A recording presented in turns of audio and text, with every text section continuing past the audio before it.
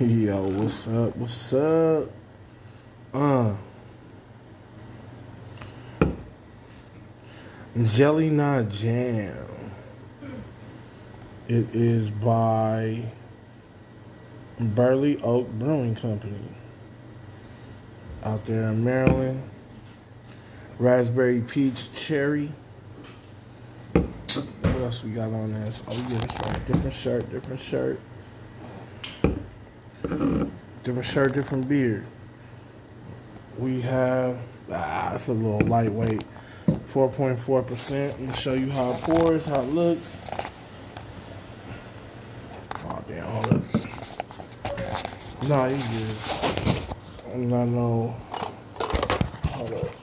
There we go. A little ghetto stand.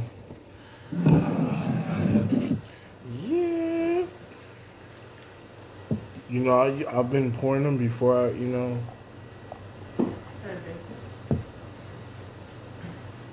Yeah. This is beer number five. Ooh, got a little head, but nothing wrong with a little head.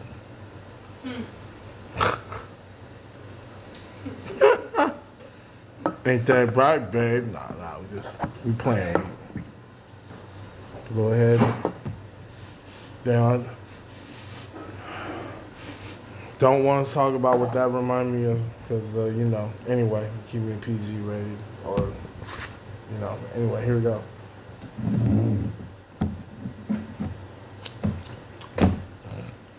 Whoa. Yikes! The tart on this is crazy.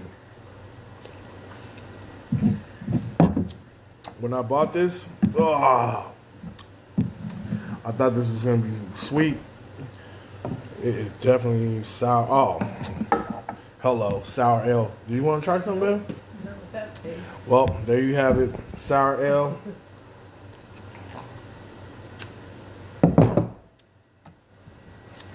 I don't want to talk about the taste because you know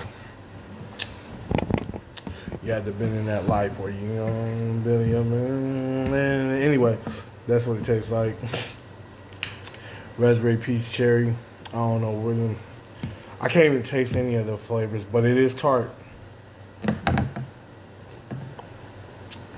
Ugh, ugh, I don't like this one. No, no offense to the brewery.